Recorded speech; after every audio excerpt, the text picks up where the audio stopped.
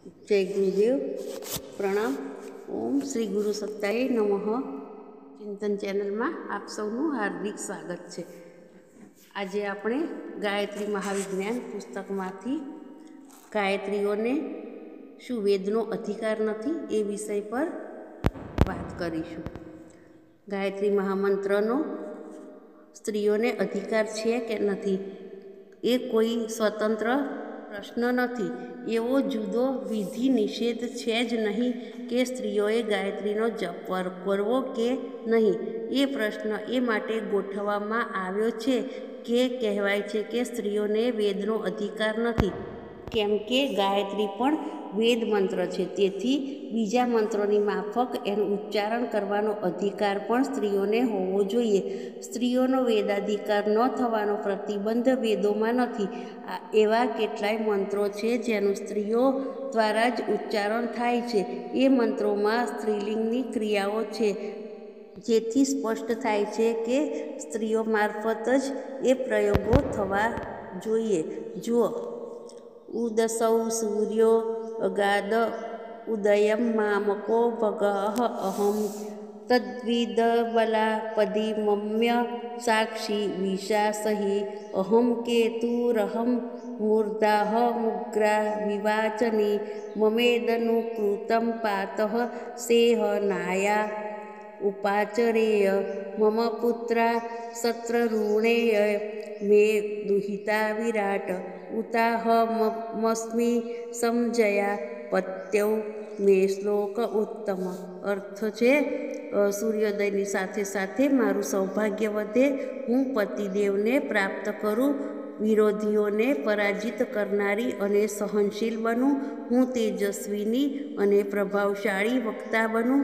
પતિદેવ મારી ઈચ્છા, જ્ઞાન અને કર્મને અનુકૂળ કાર્યો કરે, મારા પુત્ર અંદરના અને બહારના શત્રુઓનો નાશ કરે, હું મારી પુત્રીઓ પોતાના સદ્ગુણોને લીધે પ્રકાશવાન થાય, હું મારા કાર્યોથી પતિદેવના યશને ઉજ્જવળ બનાવું. ત્રંબકમ યજામહે સુગંધિમ પતિવેદનમ ઉર્વારુકમિવ બંધનાદિતો મુક્ષ્ય મામતઃ અર્થાત અમે કુમારિકાઓ ઉત્તમ પતિ પ્રાપ્ત કરાવનારા પરમાત્માનું સ્મરણ કરીને યજ્ઞ કરીએ, જે અમને આ પિતૃકુલથી તો અલગ પાડે, પરંતુ પતિકુલથી કદી વિયોગ ન કરાવે. આશા શાંતમ સૌમનસમ પ્રજામ સૌભાગ્યમ રૈયમ રનુવ્રતા ભૂત્વા સન્નદ્મે સુકૃતા યકમ વધુ કહે છે, હું યજ્ઞાદિ શુભ અનુષ્ઠાનો કરવા માટે શુભ વસ્ત્રો પહેરું છું. સદા સૌભાગ્ય, આનંદ, ધન તથા સંતાનની કામના કરતી સદા પ્રયત્ન રહીશ. વેદોપી વિત્તરસી વેદ સેત્વા વેદો મે વિંદ વિદેય ધરુતવંત કુલાનયિન્નમ રાસ્યરપોષમ સહસ્ત્રીણમ વેદો વાજંત દાતુ મે વેદો વીર દદતમે આપ વેદ છો બધા શ્રેષ્ઠ ગુણો અને ઐશ્વર્ય આપનારા છો. જ્ઞાન લાભને માટે તમને સારી રીતે પ્રાપ્ત કરું. વેદ મને તેજસ્વી, કુળને ઉત્તમ બનાવવાવાળું અને ઐશ્વર્ય વધારવાનું જ્ઞાન આપો. વેદ મને શ્રેષ્ઠ વીર સંતાનો આપો. વિવાહને સમયે વર વધુ બંને એકસાથે મંત્રોચ્ચારણ કરે છે. સમજ્જંતુ વિશ્વેદેવા સમાપો હૃદયાની નવ. સંભાતરિસ્વા સંધાતા, સમુદ્રેષ્ટિ દધાતુ નવ. અર્થાત બધા વિદ્વાન લોકો એ જાણી લો કે અમારા બંનેના હૃદયો પાણીની જેમ પરસ્પર પ્રેમપૂર્વક મળી રહ્યા છે. વિશ્વ નિયંતા પરમાત્મા તથા વિદુષી દેવીઓ અમારા બંનેના પ્રેમને સ્થિર બનાવવામાં મદદ કરે.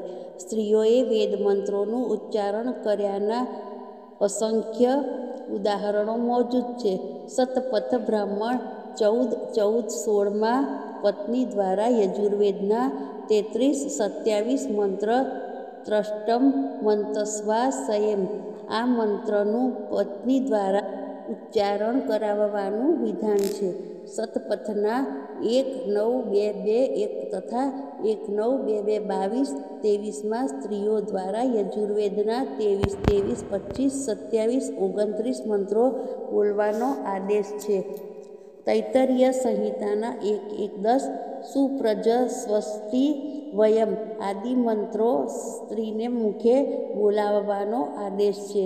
આશ્વલાયન ગૃહસૂત્ર એક એક નવના પાણી ગૃહ્યાદિ ગહ્યામાં પણ આ પ્રકારે યજમાનની ગેરહાજરીમાં તેની પત્ની, પુત્ર અથવા કન્યાને યજ્ઞ કરવાનો આદેશ છે. કાઠક ગૃહસૂત્ર ત્રણ એકત્રીસ તેમજ સત્યાવીસ ત્રણમાં સ્ત્રીઓને માટે વેદાધ્યયન મંત્રોચ્ચારણ તેમજ વૈદિક કર્મકાંડ કરવાનું પ્રતિપાદન છે. લોગાક્ષી ગૃહસૂત્રની પચીસમી કંડિકામાં પણ એવા જ પ્રમાણો છે. પારસ્પર ગૃહસૂત્ર એક પાંચ એક બે મુજબ પીવા વખતે કન્યા લાજા હોમના મંત્રો પોતે બોલે છે. સૂર્ય દર્શનના સમયે પણ તે યજુર્વેદના છત્રીસ ચોવીસ મંત્ર તચ્ચક્ષુકુરદેવના હિતમનું પોતે જ ઉચ્ચારણ કરે છે. વિવાહ વખતે સમજ્જન કરતી વખતે વર વધુ બંને સાથે સાથે અયયનો સમજ્યતી એ ઋગ્વેદ દસ પંચ્યાસી અડતાલીસનો મંત્ર બોલે છે.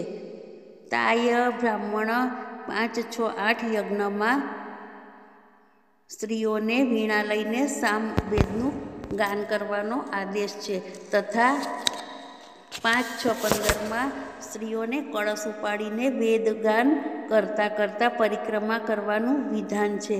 ઐતરેય પાંચ બે વીસમાં કુમારી ગંધર્વ ગૃહતાનું ઉપાખ્યાન છે, જેમાં કન્યાના યજ્ઞ અને વેદાધિકારનું સ્પષ્ટીકરણ કરવામાં આવ્યું છે. કાત્યાયન સ્ત્રૌત સૂત્ર એક એક સાત તથા ચાર એક બે બેના તથા દસ તેર તથા છ છ, ત્રણ તથા છવ્વીસ, ચાર, તેર તથા ત્રણ, એક, અઠ્યાવીસ તથા છવ્વીસ, સાત, એક તથા વીસ, છ, બાર, તે, તેર આદિમાં એવો સ્પષ્ટ આદેશ છે કે અમુક વેદ મંત્રોનું ઉચ્ચારણ સ્ત્રીઓએ કરવું. લાટયાયન સ્ત્રોત સૂત્રતા પત્ની માટે સસ્વર સામવેદના મંત્રોમાં ગાયનનું વિધાન છે. Shankayan સ્ત્રોત સૂત્રના એક બાર તેરમાં તથા આશ આશ્વલાયન સૂત્ર એક અગિયાર એકમાં આ જ પ્રકારના વેદ મંત્રોચ્ચારણના આદેશ છે. મંત્ર બ્રાહ્મણના એક, બે, ત્રણમાં કન્યા દ્વારા વેદ મંત્રના ઉચ્ચારણની આજ્ઞા છે. નીચેના મંત્રોમાં વધુને વેદ પરાયણ થવાને માટે કેટલો સુંદર આદેશ આપવામાં આવ્યો છે. બ્રહ્મ પર યુજ્યતામ બ્રહ્મ પર્વમ બ્રહ્માનંતો મધ્યતો બ્રહ્મ સર્વત અનાવ્યાધામ દેવ પુરામ પ્રપદ્યમ શિવા સોના પતિલોકે વિરાજ હે વધુ તારી આગળ પાછળ મધ્યમાં તથા અંતે સર્વત્ર વેદ વિષયક જ્ઞાન રહે. વેદ જ્ઞાનને પ્રાપ્ત કરીને તે મુજબ તું તારું જીવન બનાવ. મંગલમય, સુખદાયીની અને સ્વસ્થ થઈને પતિના ઘરમાં વિરાજ અને પોતાના સદ્ગુણોથી પ્રકાશવાન થા. ઉલાઈની ધરુણવતી પુરંધી સ્યોમે સિદ સદને પૃથિવ્યાः અભિત્વા રુદ્રા વસવો ગૃણન્તુ ઇમા બ્રહ્મ પીપીઃ સૌમગાય અશ્વિતધર્ય સાદયત વિહિત્વા હે સ્ત્રી તું કુલવતી ઘી આદિ પૌષ્ટિક પદાર્થોના ઉચિત ઉપયોગ કરનારી તેજસ્વીની બુદ્ધિમતી સત્કર્મ કરનારી થઈને સુખપૂર્વક રહે તું એવી ગુણવતી અને વિદુષી થા કે રુદ્ર અને વસુ પણ તારી પ્રશંસા કરે. સૌભાગ્યની પ્રાપ્તિ માટે આ વેદ મંત્રોના અમૃતનું વારંવાર ઉત્તમ પ્રકારે પાન કર.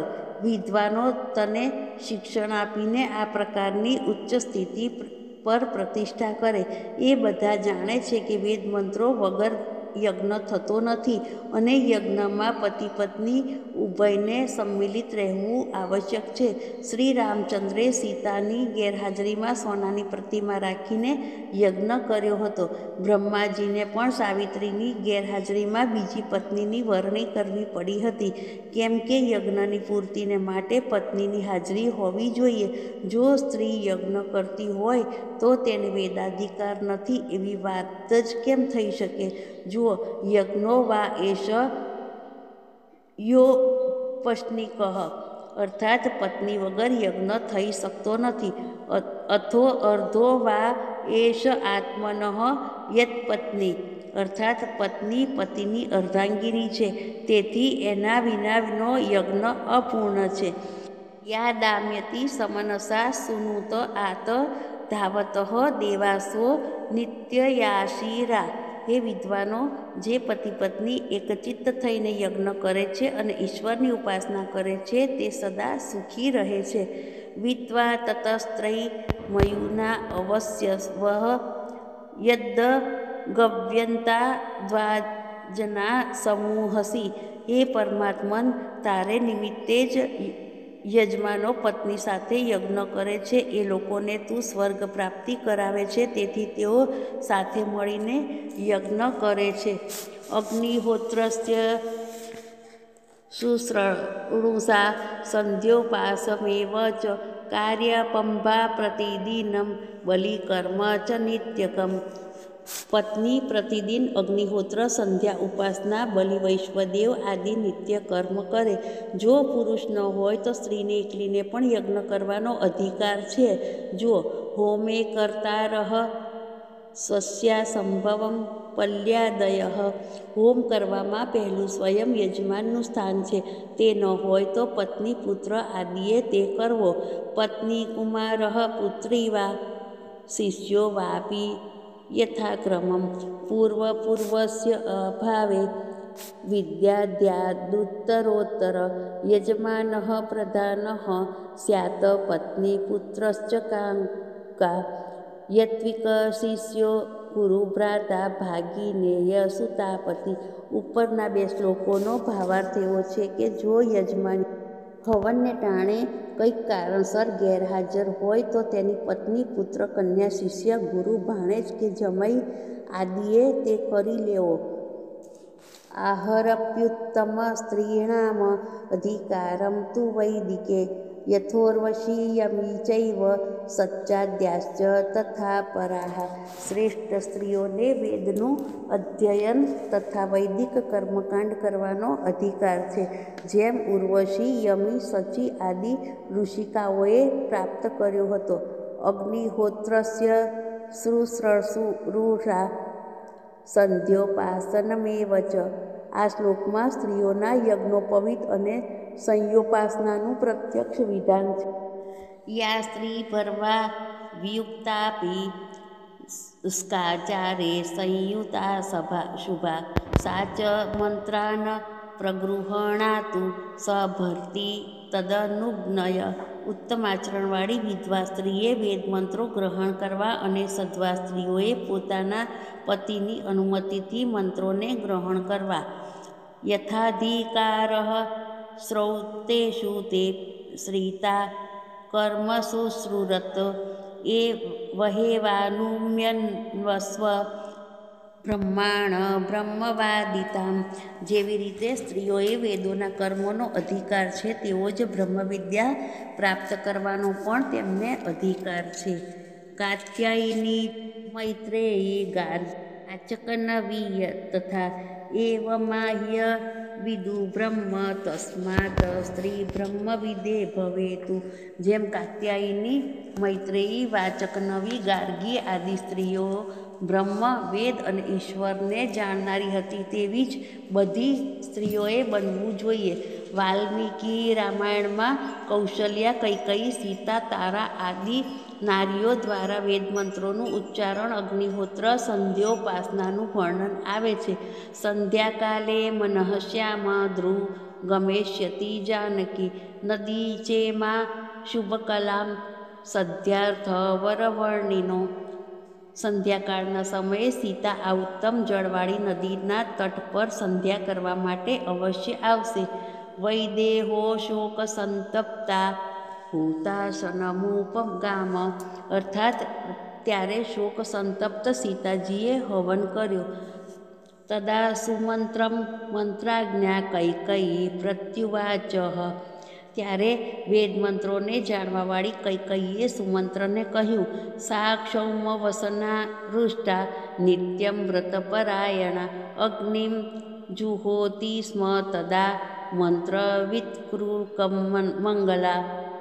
વેદ મંત્રોને જાણનારી વ્રતપરાયણ પ્રસન્ન મુખ સુવેશી કૌશલ્યા મંગલપૂર્વક અગ્નિહોત્ર કરી રહી હતી. તતઃ સ્વસ્ત્યયન કૃત્વા યંત્ર વિદત વિજયેશિણી ત્યારે મંત્રોને જાણનારી તારાએ પોતાના પતિ વાલીના વિજય માટે સ્વસ્તિ વાચનના મંત્રોનો પાઠ કરીને અંતપુરમાં પ્રવેશ કર્યો. ગાયત્રી મંત્રના અધિકારના સંબંધમાં તો ઋષિઓએ બીજા પણ સ્પષ્ટ શબ્દોમાં ઉલ્લેખ કર્યો છે કે નીચેના બે સ્મૃતિ પ્રમાણો જુઓ.